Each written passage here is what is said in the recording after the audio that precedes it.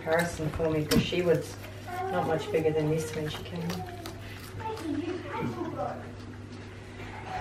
Who's that one? Gidget. Gidget. Turn around, beautiful girl. So Veg would be right with her anyway. So there's your difference.